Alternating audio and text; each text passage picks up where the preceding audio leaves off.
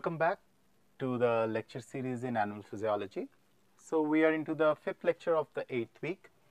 Last lecture we talked about uh, hearing and uh, we talked about the hair cells present in the ear and uh, today we will be talking about olfaction. But, but before I get into olfaction, in the field of prosthesis, there is something to do with hearing and which I wish to share with you. If say for example, all your hair cells in the ear or in the cochlea goes off or the auditory nerve is non-functional. So, there is a way you can hear it. You can interface your auditory cortex or part of the auditory nerve carrying signals from the ear to the auditory cortex with a prosthesis device which is a mic. And by such an interfacing or such a neuroelectrical interfacing or hybrid interfacing, one can hear. And in the history of prosthesis, the first very successful prosthesis was hearing prosthetic aid where people or the scientist interfaced the auditory nerves with an artificial hearing system which is a mic through the electrode contact and it was an 8 electrode configuration. So, in a way it was something like if you I told you that these are the frequency coding which are taking place. So, for example, this whole setup is not really working the way it is. What you can do essentially, you have a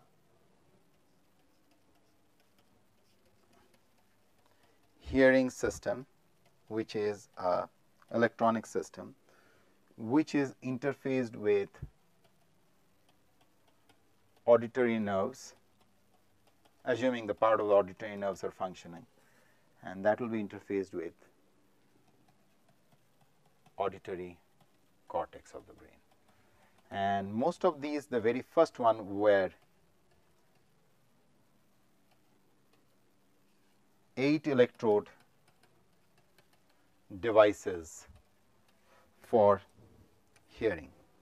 So, in the history of hearing or in the history of prosthesis, this was and till this date is a landmark discovery or landmark engineering marvel where you can bypass the sensory system and interface a gadget or electronics to the brain and which gave birth to the whole paradigm or a concept of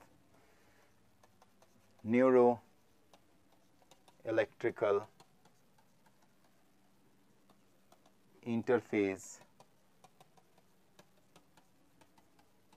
devices or also called biohybrid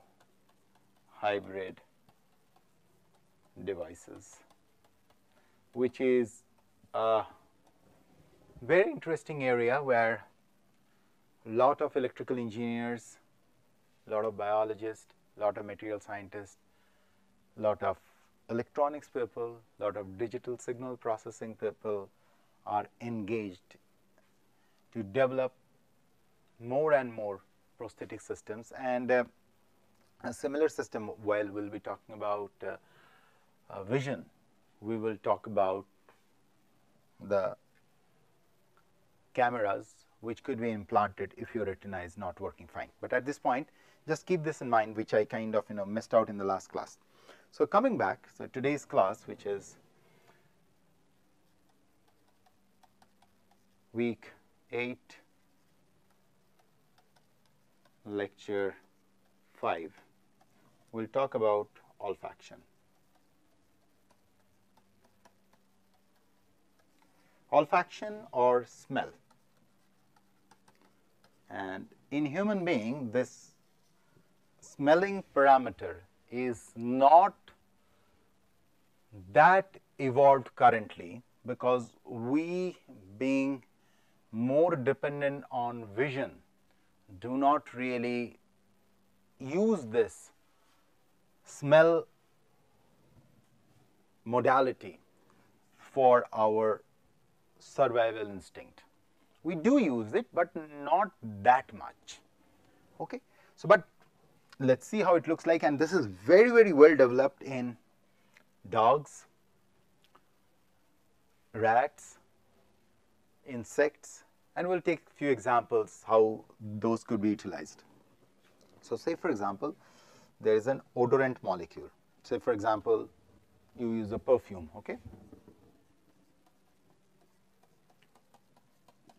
So, some say aromatic aroma, I am putting aromatic compound because the name aromatic compounds came because they have a smell, okay. So, some kind of say aromatic compound which is present there, which is coming and binding to its receptors which are present here. The specific receptors where this aromatic compound comes and binds. Okay. So, this is the sensor system in your nose. Now, from here the signal will be ferried through a sensory neuron or through an olfactory neuron through spinal cord to the brain. Okay, maybe it may bifurcate into two different neurons. Okay. So, this is your sensory neuron picking up the signal. Now, this will go to the olfactory lobe. In human, this is not that well developed. It is something like if you see have the brain pictures like this, spinal cord here. So, the olfactory lobes are here these are the olfactory lobes. And if you look at it in rats or other things, these are fairly huge and very well developed. So, this info comes to the olfactory lobes. In the olfactory lobe, the processing occurs and we come to know what is this odorant all about. So, this is the basic circuit and depending on how evolved the species it, it can distinguish x number of odorant molecules. But this odorant business could be utilized for some of the applications in our day to day life and that is what we will be talking about today. But this is the basic circuit what I talked about in our day to day life there is you have seen something called you know we use some kind of a lotion or something which repels the insects insect repellent. Or uh, some kind of when we go on tracking we put some kind of a lotion. What are these really? So if you look at an insect they have these wonderful antennae sitting there and they have a three segmented three layer body something like this. Head abdomen and thor sorry head thorax and abdomen.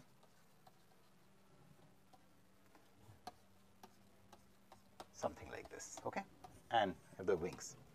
So these are the antennae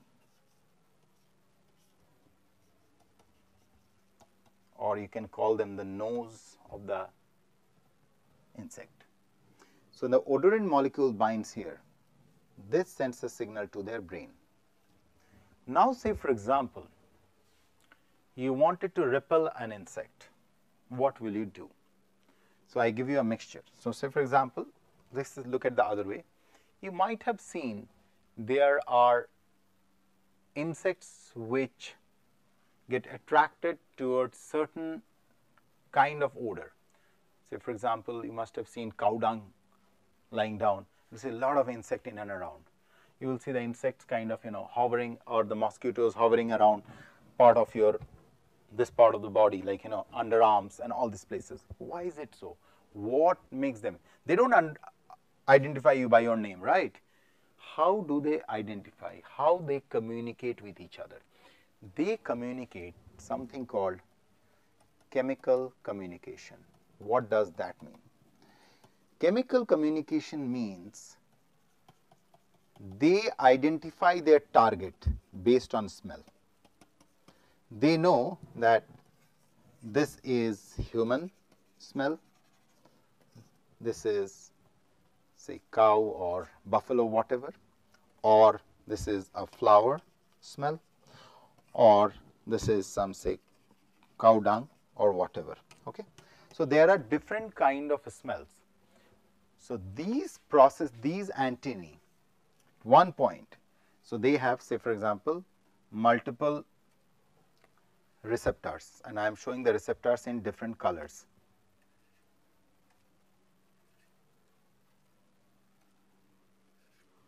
For simplicity's sake, we concentrate with five different colors assuming there are five different possibilities which are there.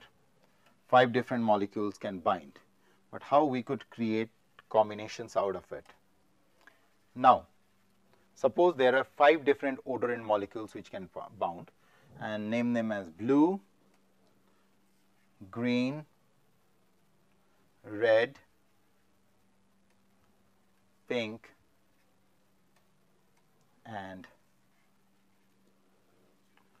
light blue. Now, each one of them are function of quantity and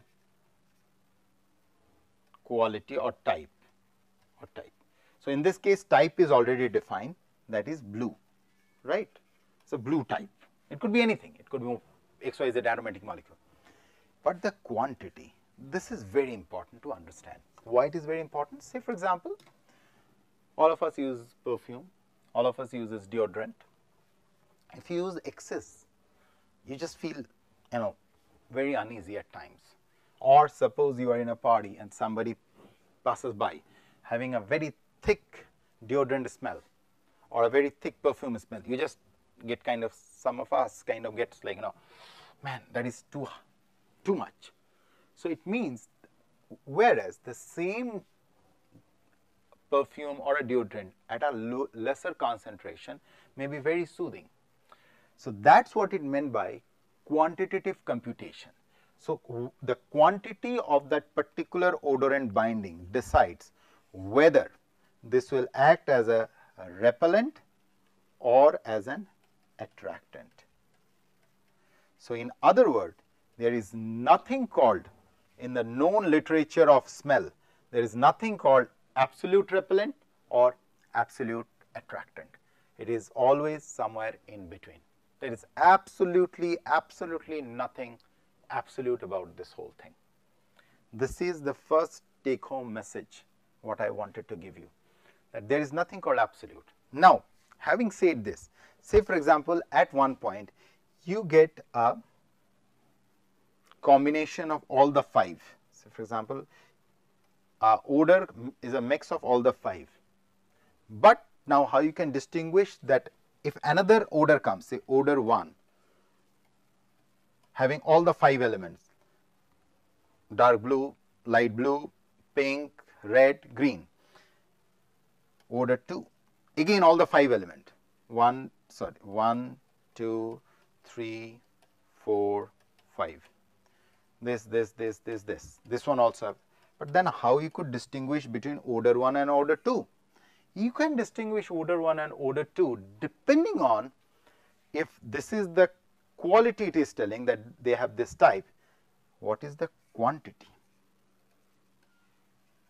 Because varying any of these quantities, say for example, I vary the fourth one, say the red one, the whole complexion is going to change because the signal what will be propagated from here to the brain will be different than if this red one is more here or red one is less here. Apart from here we are considering all the five components are there.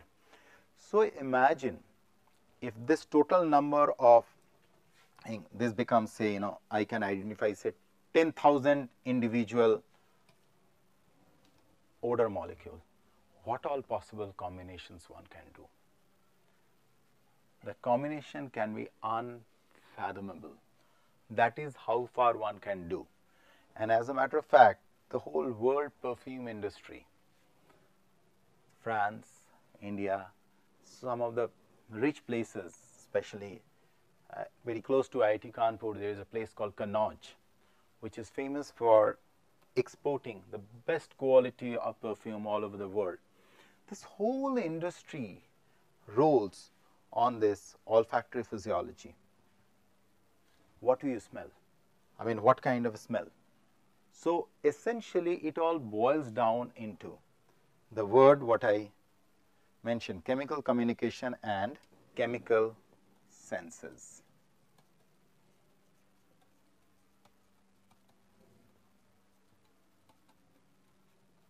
Okay. And in the same line, you must have seen the small ants following each other like this. This is also that chemical senses or chemical communication, where each one of these, the one which is ahead of the other, secretes certain chemical which is being responded by the second one.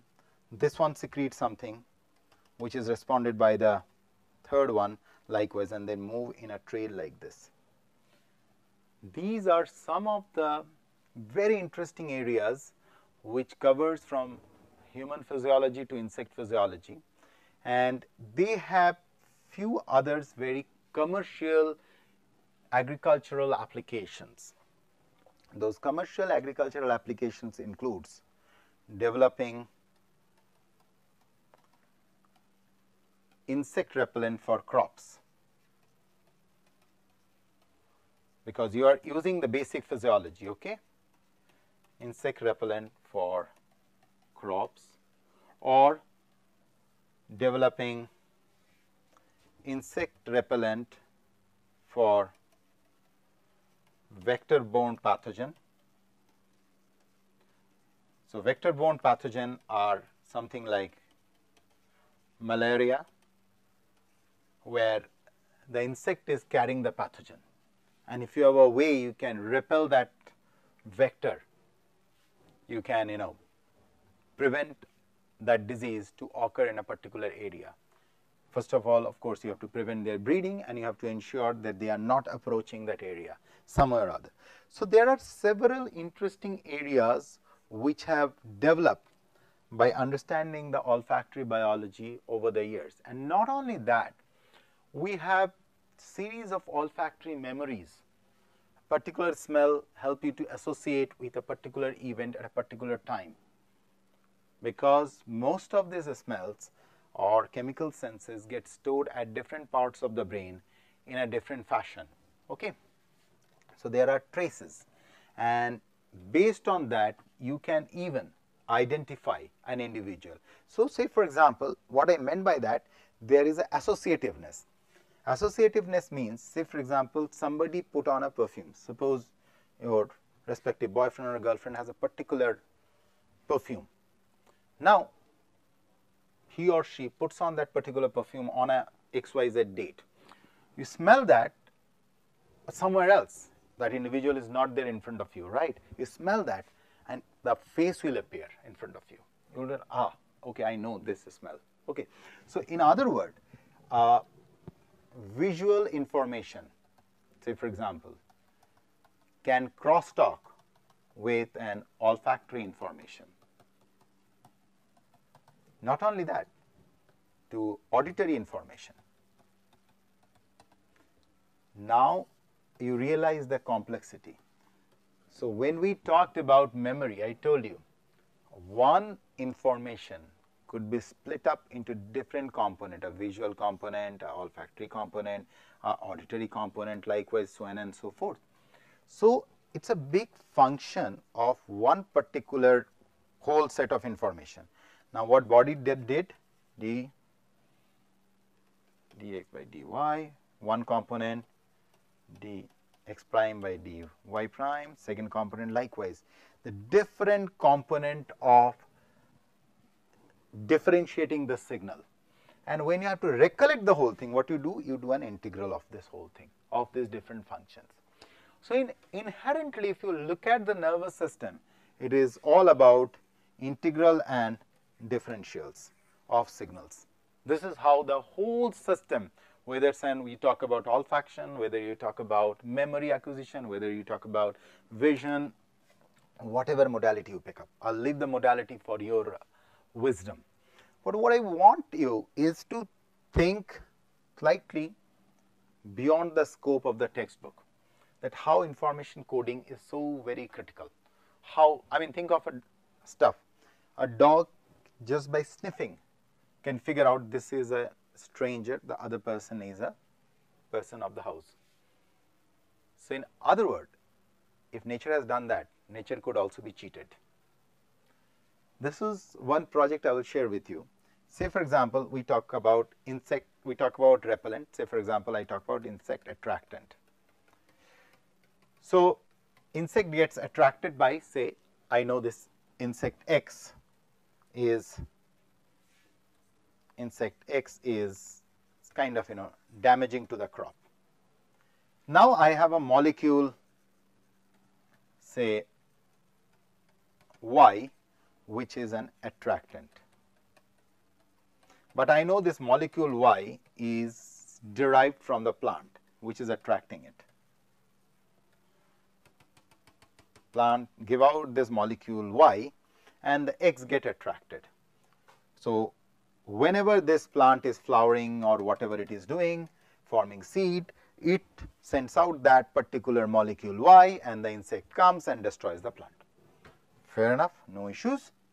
Now, what I do is, I am human, very clever, shrewd and a big cheater.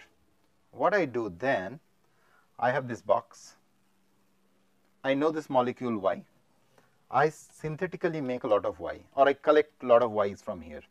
Now, what will happen? Now, if I know that this insect is exclusively attracted by the odorant, not by the visual cue. So, there are two options you have to realize. Either the insect knows that this particular tree is or the plant tree or the herb is now in a flowering stage. So, I get a visual cue and I am going to run towards it or it is exclusively depending on the odorant or both, how you answer that question. So, you can have a box from where this odorant molecule will be coming out. If it is exclusively dependent on this, you will see the insect flocking in towards it. And if you could make this structure like those flower, artificial flower from where it's coming out, then you can even distinguish if the number of flocking insect is more here, it means it is using the visual as well as the olfactory clue. V stands for visual, O stands for olfactory cue. So, these are some of the very interesting questions what now several uh, scientists across the world are trying to address. How we can, you know, do things in a very natural way. In other words, the doing it by biomimetics way. You are mimicking nature, natural mimetics. Okay. So, I will close in the olfaction here and next class we will go to the visual uh, system and then the sympathetic and parasympathetic before moving into the cardiac system. Thank you.